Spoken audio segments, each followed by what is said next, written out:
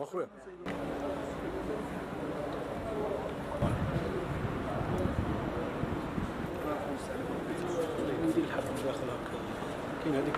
تمكن عناصر فرقة البحث والتدخل التابعة للمصلحة الولائية للشرطة القضائية بأمن ولاية وهران من وضع حد لنشاط شبكة إجرامية منظمة مختصة في الاتجار غير الشرعي بالمخدرات.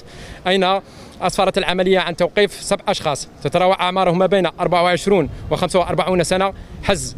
ما يفوق ال 4500 قرص مهلوس من نوع إكستازي المعروفة في الوسط الإجرامي بالدومينو. آه، معدات التزوير. آه، مبلغ مالي من عائدات الترويج يفوق 161 مليون سنتيم. 12 هاتف نقال. آه، ثلاث مركبات كانت تستخدم في عملية النقل والتوزيع.